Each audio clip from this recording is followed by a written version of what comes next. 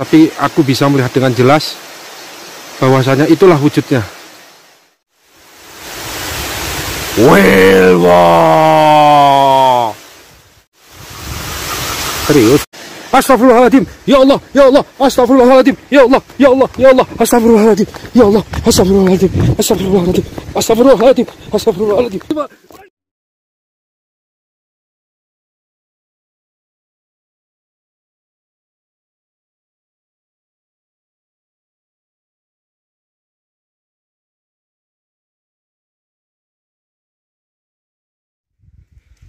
Nih guys, kalau mau tahu rumah yang dipakai syuting untuk film Lampor.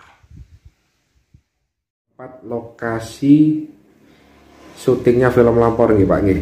Iya, ya, Saat ini karena lagi viral-viralnya ini lampor-lampor dan lampor dan di dalam film itu sarangnya lampor itu ada di salah satu air terjun. Nah, kira-kira boleh nggak Pak saya melakukan eksplor di sana atau menelusuri lokasi itu di malam hari dan sore hari sendirian hanya untuk membuktikan kepada masyarakat umum terkait lampor ini.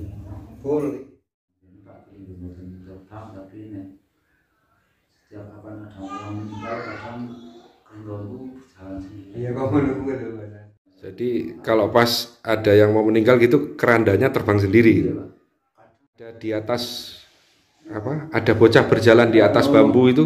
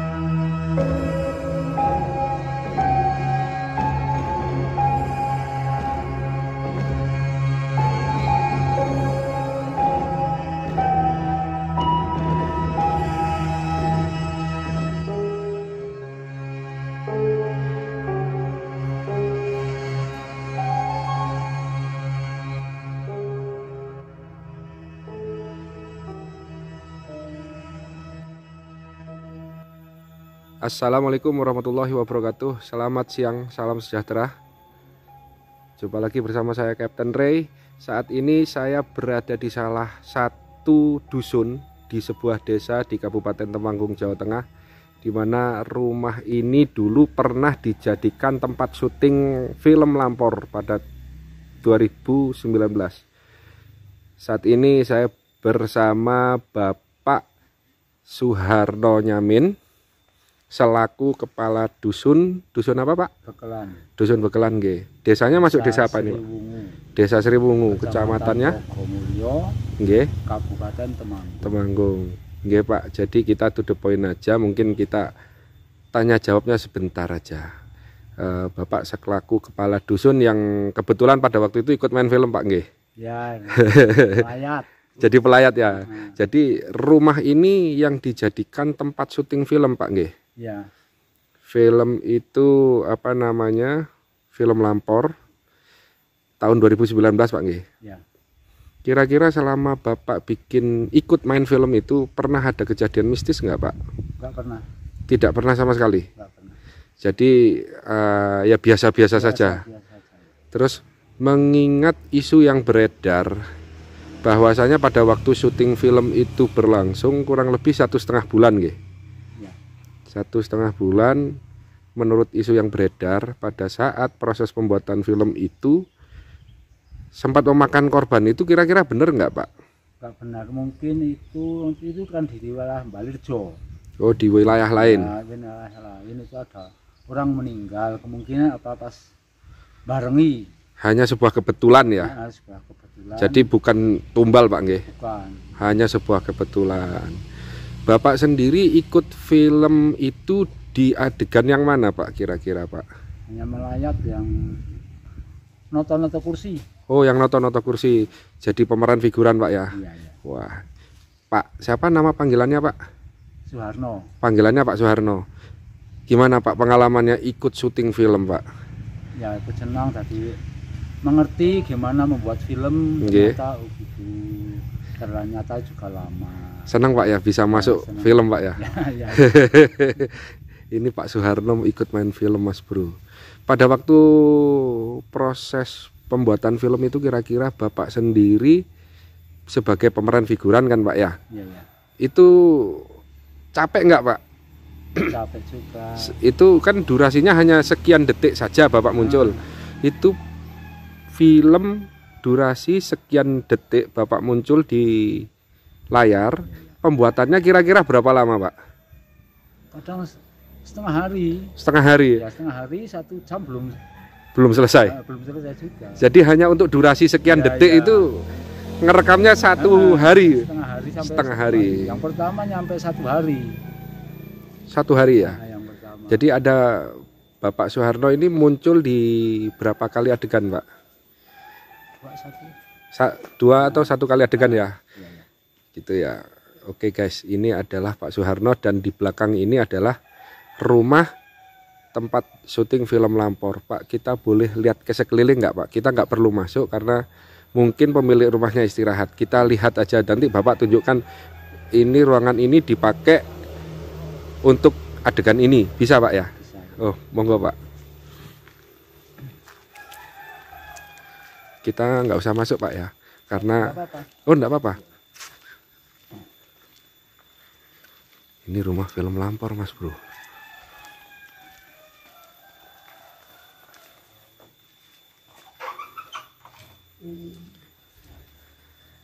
Permisi. Oke. di sini tempat ketika bapak Jamal akan meninggal Oh gitu.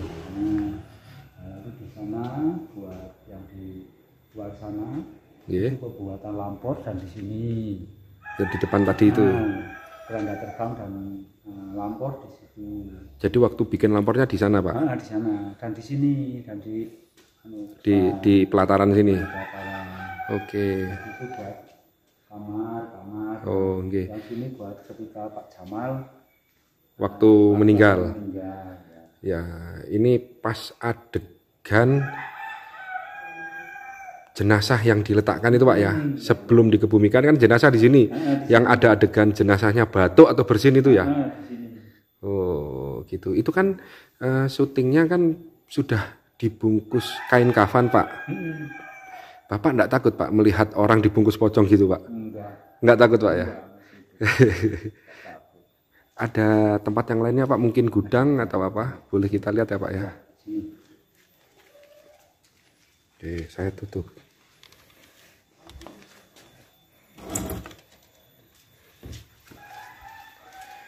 Monggo, Pak.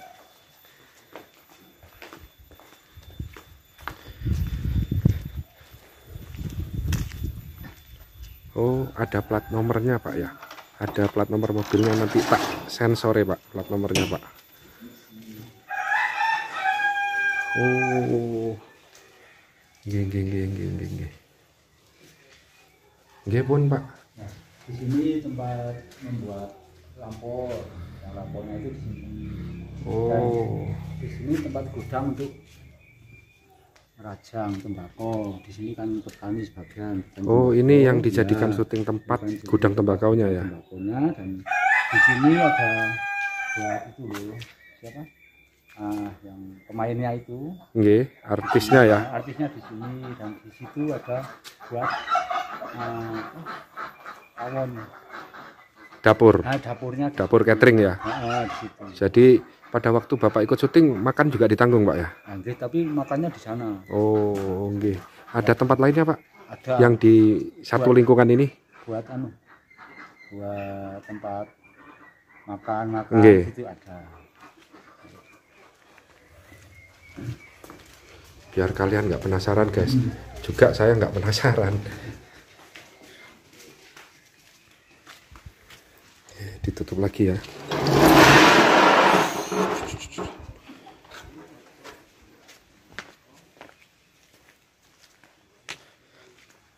Itu rumah apa, Pak? Kecil Nah, itu, Pak. Buat nganu, buat wah, tempat peralatan-peralatan di situ. Gitu ya. Nah, lalu di sana tempat makan di jalan. Oh, Di sana sama di sini kadang di sini.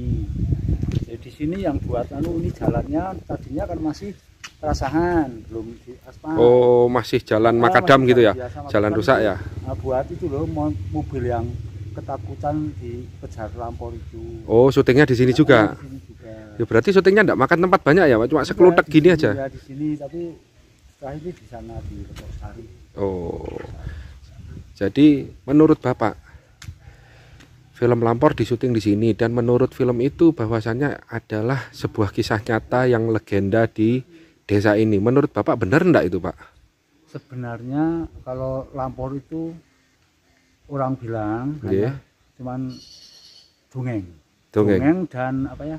eh, gondol lampor gitu kan Oh. di bawah lampor tapi Nggih. lampor nggak ada belum ada yang pernah melihat wujudnya Belum pernah ada satupun yang melihat belum pernah ada melihat. seperti apa wujudnya Lampor sebenarnya ya. Ya, tapi kalau orang hilang ada orang hilang ke mana entah di mana nanti ketemu nah, dia entah di pohon entah di gua Nggih. lalu anak itu linglung nah, itu, itu dikatakan di bawah lampor atau di gondol lampor Oh, gitu. gitu tapi Jadi ada juga orang yang bercerita di Gondol Lampor. ada di sini kan pernah ada orang kakek-kakek ah, gendong cucu Nggih. ya cucunya itu yang kakeknya jalan biasa tapi cucunya bilang mbah kok lewat di atas bambu gitu Oh, gitu. kan berarti mabur Nah, tapi orang tuanya nggak nggak merasa Nggak merasa terbang. Nah, nggak merasa terbang itu namanya wah, ada gondol lampor gitu Oh, Nah, gitu. itu tapi ya biasa udah nggak karena ini kemenungsan lah Oh, gitu. penolong Terus kisah pembuatan film yang memakan tumbal itu hoak, Pak ya. Wah, Bohong 100%.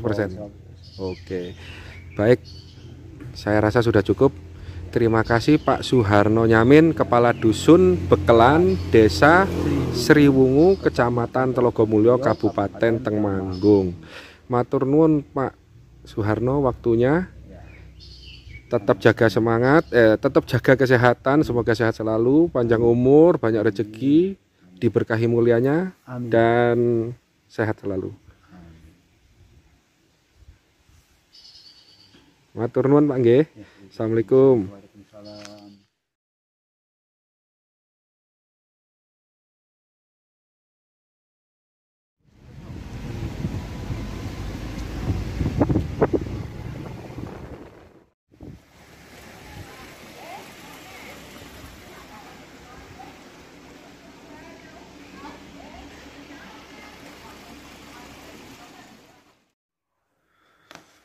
Baik, teman-teman, eh, saat ini saya berada di kantor desa Sriwungu. Dan saat ini saya bersama kepala desa dari desa Sriwungu, tempat lokasi syutingnya film Lampor nggih, Pak nggih. Ya, ya, Saat betul. ini sudah bersama Bapak Sarjono selaku kepala desa Sriwungu. Oke Pak, mohon maaf, mohon waktunya sebentar Pak ya. Kita Iya, ngobrol-ngobrol terkait syutingnya film Lampor nggih Pak nggih. Iya. Nggih.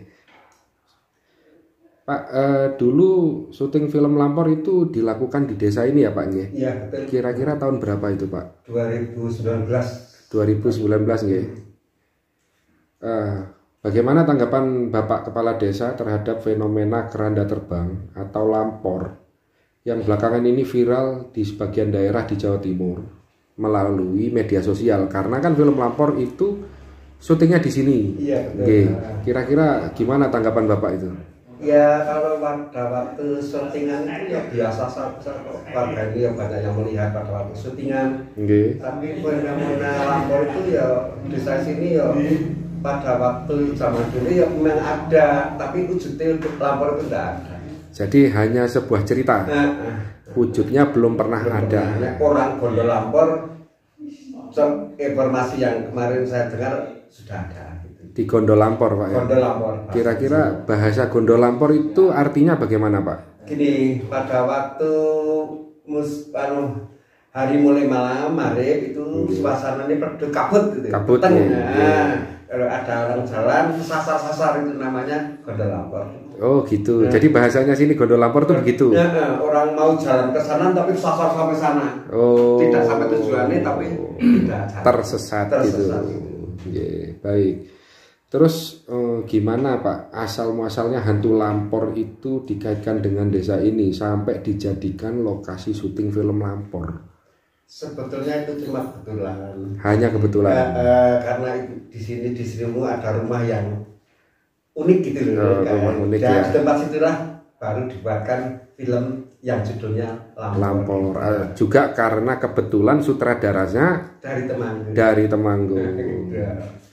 Sebenarnya film Lampor itu menggambarkan kisah sesungguhnya bahwa Lampor adalah praktek pesugihan atau hanya isapan jempol aja Pak menurut Bapak? Kalau menurut saya kalau pesugihan Lampor itu kayaknya saya dengar-dengar belum pernah. Belum pernah ada kalau ada orang yang pesugihan pakai Lampor itu tidak ada. Oh, cuma gitu. ya itu Lampor itu saya tahunya itu cuma nyasar ke orang. Oh, berarti Lampor itu menyesatkan orang dari menyasarkan membuat orang tersesat Heeh. dalam situasi kabut. Ya, Nah, biasanya jadi bisa jadi Lampor itu ya sebuah kabut itu sendiri. Nah, makanya kalau ada yang orang seperti dulu yang gondol lampor itu kalau imunnya kuat itu orangnya biasa, tapi kalau imunnya tidak kuat orangnya bisa terjadi stres gitu. Oh begitu nggih, Pak. Nggih. Terus saat fenomena lampor yang sedang viral saat ini ya Pak nggih, itu kan meneror sebagian di Jawa Timur. Apakah dialami juga Pak di warga Bapak di desa ini? Enggak. Enggak ada Pak ya? Biasa saja. Malah tenang-tenang aja Pak, adem ayem ya. Oke. Berarti yes, bener-bener itu karangannya orang ya Pak ya. Ya, Ceritanya orang ya bikin Bisa. konten gitu Pak. bisa terjadi seperti itu. Baik Pak. Padahal film Lampor itu katanya kan sangat melegenda di sini sampai dibikin filmnya di sini. Berarti ya enggak ada Pak ya. Nah, Baik. Terus eh, apa namanya? eh, Bapak dan warga terhadap hantu Lampor ini apakah meresahkan Pak pada waktu selesai film itu dibikin atau pada saat proses film itu dibikin? enggak, enggak ada Enggak ada. Cuma penasaran, ingin tahu cara pembuatan film tidak. Oh, jadi nggak ada yang janggal, ganjil, kejadian mistis gitu nggak ada ya? Normal-normal Biasa, saja pak ya, nggak ada kejadian apa yang berbau genderuwo, mistis gitu nggak ada pak ya? Enggak ada. Oke. Terus eh, di film Lampor itu kan dikisahkan bahwasanya Lampor itu mengganggu warga desa sini. Itu berarti juga nggak benar pak ya? Enggak benar. Nggak benar. Cuma kebetulan itu yang kesasar tadi yang saya ceritakan itu loh. Nggih. Jadi nah, mitosnya Lampor ini kan bersemayam di sebuah telaga atau air terjun ya. Kalau kita lihat dari filmnya. Itu menurut Bapak itu betul atau enggak, Pak? Bisa dijelaskan Pak mitos ini? Kalau di film itu kan Lampor itu ada di gua gitu ya. Ada di dekat air terjun, terus ada yang bilang di dekat telaga tertentu, terus sembunyinya di sebuah gudang. Itu kira-kira gimana menurut Bapak? Menurut pandangan saya itu enggak enggak pas kayaknya. Karena faktor lampor itu karena ah, yang saya tahu ya adanya cuma pada waktu kabut itu kok. Oh, Eh, eh, jadi- datang, Iya. di lapor tak nyasar gitu. Dan di tempat-tempat tertentu kayaknya informasi yang saya dengar kok saya belum pernah dengar. gitu ya. Eh. Jadi ada yang berpendapat hantu Lampor itu sebuah praktek pesugihan. Hmm. Pernah dengar nggak kasak-kasuk tentang hal itu di desa ini mungkin terhadap kepercayaan ritual tertentu atau mitos-mitos tertentu atau gangguan-gangguan mistis tertentu gitu? saya kok belum pernah dengar nek pesugihan lewat lampor itu nek ono bahasane desa itu wong ngingu tuyul itu kok Ngingu tuyul ya? Nah, oh, kalau pesugihan- lampor enggak ada. Terus eh, kira-kira menurut jenengan ya apa yang diketahui masyarakat luas terhadap desa ini adalah tempat syuting film Lampor. Nggih. Sekarang kita membahas segi keindahannya desa, Pak ya. Kira-kira apa nih, Pak, eh, komoditas yang menonjol di desa ini dan wisata alam yang menonjol di desa Bapak ini? kalau pendapat saya Nggih. yang saya hadapi adalah masalah di sisa kan di pertembakoan, tanaman cabai, tomat, dan jagung, padi dan lain sebagainya. Itu Jadi- ada. Gitu. Berarti yang menonjol ya. komoditasnya yang menonjol itu di sektor pertanian. Pertanian di sini. Pertanian. Jadi yang paling kuat hasil alamnya itu antara lain tembakau juga ya. Aku juga lombok, padi, Itu sampai dijual ke mana Pak tembakaunya? Apa sampai diekspor? Apakah di apa eh, disalurkan ke salah satu produsen rokok dalam negeri? Kalau pertembakoan itu kan ini dari desa sini kan setelah dirajang kan nanti sudah wujud keranjangan. Nggih. Kadang-kadang dibasarkan ke gudang. Gudangnya kan ada gudang-gudang, gudang jarum kan ada semua di Temanggung. Ada semua nggih? Ada semua gudangnya di sini penampungan. loh. Oh, Setelah ditampung di Temanggung oke. nanti dikirim ke Kudus, ke Kediri. Gitu baik. Ya. Jadi rokok pro- produsen rokok dalam negeri. Ya, ada. Oke. Terus kira-kira Pak, lokasi wisata apa nih Pak? Kan karena kalau kalau menurut pandangan saya mulai dari perjalanan masuk kota Temanggung sampai masuk ke desanya Bapak ini kan berada di sebuah lereng gunung. Nah. Itu lereng gunung apa Pak? Sumbing. Berarti ini di lereng Gunung Sumbing. Nah, Kan udaranya sejuk. Nah. Terus kira-kira wisatanya apa nih Pak? yang desa Seribu. Nggih. Ya itu wisatanya rumah untuk syuting ini kan Salah satu tempat Salah wisatanya. satu- itu banyak yang penasaran kalau mas Sagi. Jadi memang pernah ada yang datang ke situ hanya untuk penasaran. Penasaran kalau itu film Lampor itu kok sampai melegenda ke mana-mana banyak yang penasaran mau lihat. Oh mana tuh rumahnya? Oh iya, karena saya sendiri tadi waktu pertama kali datang singgah ke rumah tersebut, Eh. sepertinya tuan rumahnya ya welcome welcome Fo- foto boleh boleh gitu. Itu salah satu wisatanya. Banyak yang penasaran ke sini kok.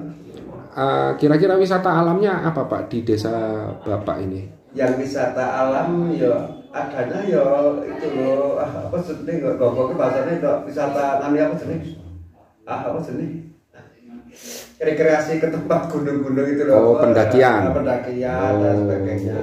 Jadi pos pantau pos pendakian juga bisa lewat sini Pak ya? Bang, ya, sana. naik. Naik pendakian Gunung Sumbing Ah, ah. lewat sini juga. Lewat sini, budaya lewat sini. Oh.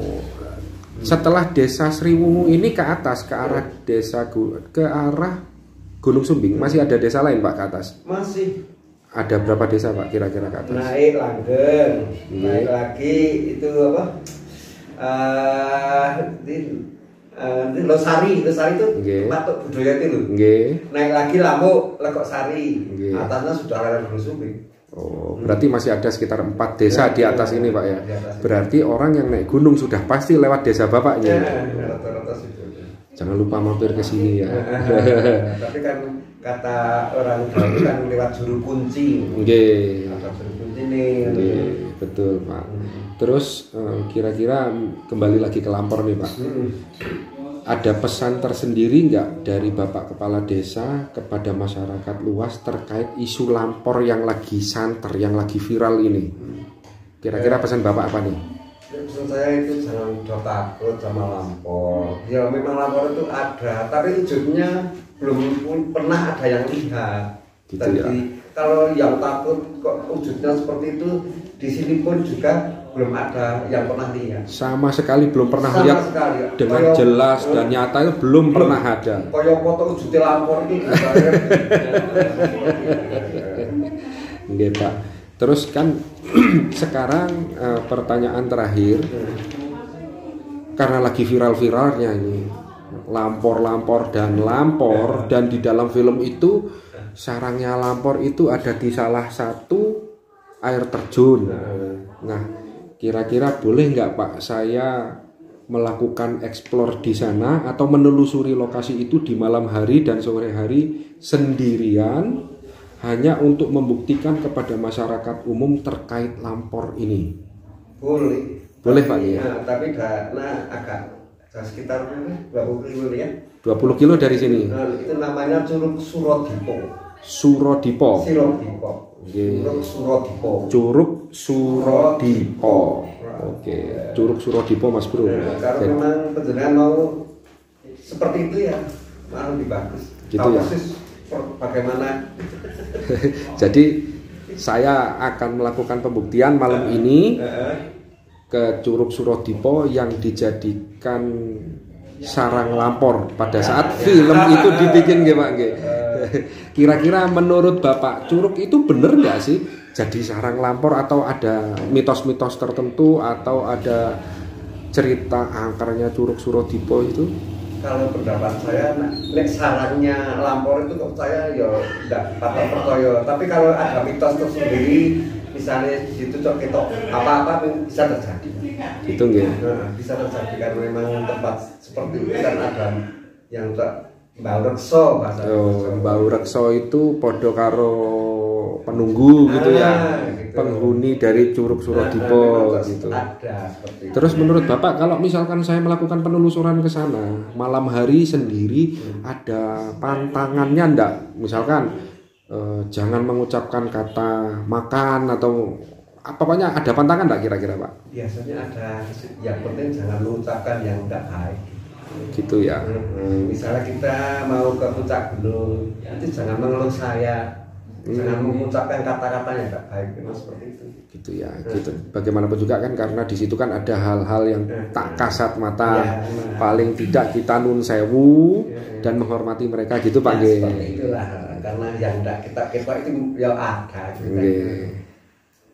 Terus begini Pak, saat saya sudah melakukan penelusuran di Curug Surodipo dan melakukan pembuktian terhadap isu lampor ini, mohon kiranya nanti eh, Bapak berkenan ya video ini akan saya naikkan, akan akan saya upload di YouTube sebagai bukti kepada masyarakat terkait isu lampor kan begitu Pak? Iya, iya, iya. Bahwasannya kan sejauh ini teman-teman itu beranggapan itu lampor ning desa kono kuwi lho itu kisah nyata itu loh hati-hati kalau ke sana bahkan ada beberapa teman yang saya ajak ayo kita bikin video kita bikin pembuktian ke masyarakat bahwasannya benar nggak sih lampor itu ada di desa tersebut? Gitu nggak apa-apa pak apa-apa hanya sebagai bentuk pembuktian kalau memang eh, tidak ada dan tidak pernah ada wujudnya semoga itu bisa menjadi edukasi yang memberikan pendidikan baik kepada masyarakat bahwasannya masyarakat agar tidak mudah termakan oleh isu Pak nggih. Oke, di sini saya ucapkan terima kasih kepada Pak Sarjono selaku Kepala Desa Sriwungu Kecamatan Telogomulyo. Juga ada Bapak eh, Suharno Nyamin selaku Kepala Dusun Bekelan dari Desa Sriwungu yang mana rumah syuting itu lokasinya di Dusun Bekelan Pak nggih. iya iya Nggih, nanti kita tak coba ke rumah itu Pak nggih. Kita ngobrol di sana Pak ya nanti Pak ya. Nggih. Terus di sebelah saya ini ada Bapak Susilo. Beliau juga memiliki kontribusi kepada saya, sudah berkenan meluangkan waktunya mengantar saya ke desa Sriwungu ini. Baik, Bapak-bapak yang terhormat, terima kasih waktunya. Mohon maaf kalau mengganggu. Semoga video ini bermanfaat bagi masyarakat umum, Pak Nggih, sehingga Desa Sriwungu ini terlepas dari fitnah terhadap lampor, Pak Nggih. Nggih, Pak, matur nuwun. Matur nuwun atas waktunya. Mohon maaf kalau ada salah kata. Selamat siang, Pak. Wassalamualaikum warahmatullahi wabarakatuh. Waalaikumsalam warahmatullahi wabarakatuh setiap kapan ada orang meninggal kadang sendiri iya Jadi kalau pas ada yang mau meninggal gitu kerandanya terbang sendiri. kadang ya Ya bisa. Ya kalau orang mesti kan. Nah, ini gojek pada waktu pas belum ada pak Lah terus ada di atas apa? Ada bocah berjalan di atas bambu itu. di anu gendong. digendong kakeknya Oke. nah itu yang anak sekitar umur berumur dari lima tahun kan dia udah tahu mbah kok lewat sini kok lewat di atas bambu Miber berarti ya. Eh, padahal itu yang Saya gendong. sing gendong kan biasa rumah sana Melakukan jalan. Eh, jalan di jalan aja tapi yang digendong kok lewat di atas peri bambu Boyo ke di daerah Wonoboyo Temanggung.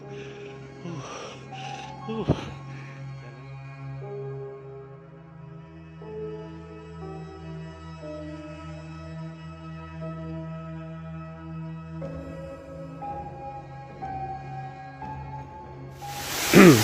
Jika memang ada lampor yang bersemayam di sini, tunjukkan eksistensimu, tunjukkan keberadaanmu di depan kameraku sekarang.